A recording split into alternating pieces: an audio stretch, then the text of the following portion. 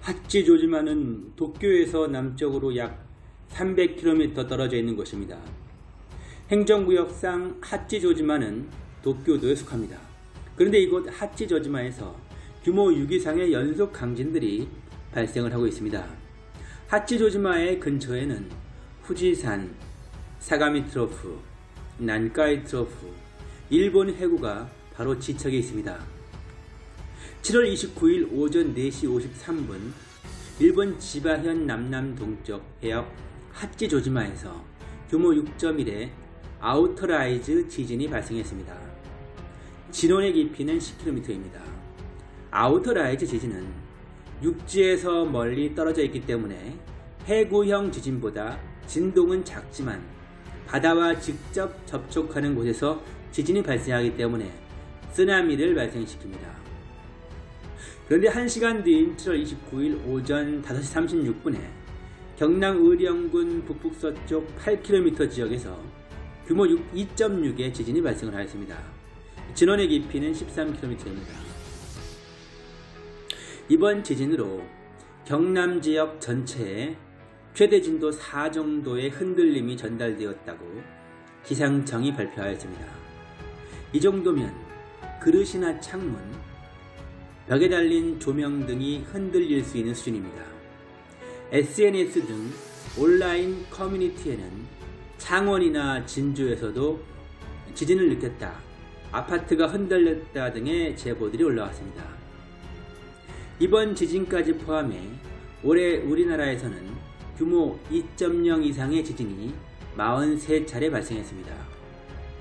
다시 7월 29일 일본의 하치조지마 규모 6.1 강진과 경남 의령군 규모 2.6 지진을 살펴보면 7월 29일 당일의 일본의 지진을 살펴보면 경남 의령군 규모 2.6 지진 1시간 전에 발생한 하치조지마의 규모 6.1 강진은 outer rise 지진이었습니다.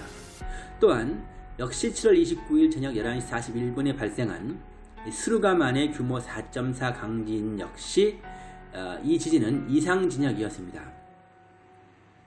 또한 20분 뒤인 7월 30일 새벽 0시 5분에 발생한 오츠크의 남부에서 발생한 규모 4.9의 강진 역시 이상진역이었습니다.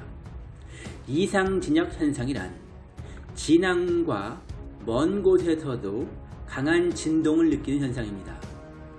보통 지진이 일어나면 진앙과 가까운 곳부터 동심원을 그리면서 이 강한 진동이 나타나고 멀어질수록 이 사그라듭니다. 이와는 달리 진앙에서 멀건 가깝건 이 지진 규모가 들쭉날쭉하게 나타나는 현상이 이상진역 현상입니다. 진앙 주위는 잠잠한데 수백 킬로 떨어진 곳에선 규모 4 정도의 강진이 나는 사례도 있습니다. 원인은 주로 진앙의 깊이와 관계가 있습니다. 지하 70km 이상에서 일어나는 지진을 천발 지진, 70에서 300km 사이에서 일어나는 지진을 중발 지진, 300km 이하에서 일어나는 지진을 신발 지진이라고 합니다. 이상 진역 현상은 대개 신발 지진일 때 일어납니다. 지구 내부에는 지진파가 감쇄하기 쉬운 부분과 그렇지 않은 부분이 있는데 땅 밑 깊은 곳에서 일어난 지진일수록 지진파가 감쇄하지 않는 부분을 거쳐 먼 곳까지 강력한 진동을 전달하기 쉽기 때문입니다. 제 영상을 보신 분들은 자주 보셨겠지만 특히 일본 지진에서 이상 진역이 발생한 날이나 그 후에는 강진이 발생을 하는 경우가 많았습니다. 시청해 주셔서 진심으로 감사드리겠습니다. 구독과 좋아요, 알람 설정을 꼭 부탁드리겠습니다. 이 채널을 운영하는데 큰 힘이 됩니다. 감사드립니다.